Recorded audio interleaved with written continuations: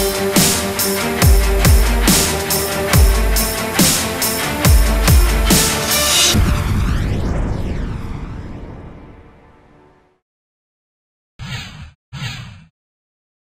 По информация на граждани, един от двата тенис клуба не заплащал всички играни часове. Освен това, часовете за любители с 4 лева наценка, което е разликата от цената за клубове и цената за граждани на свободен достъп. Общинският съветник Станимир Станчев задава 4 въпроса към кмета, а именно спазена ли е процедурата за поставяне на рекламни съоръжения, какъв е реда за ползване на сауната, как се отчитат часовете на тенис клубовете и има ли управителят на базата сключен договор за ползване с някой от двата спортни клуба. Станимир Станчев изразява и своята тревога за това, че няма информация кой плаща скъпия ток за загряване на сауната и че се създават предпоставки за злоупотреба от страна на работниците от Общинското предприятие спортни имоти и треньорите.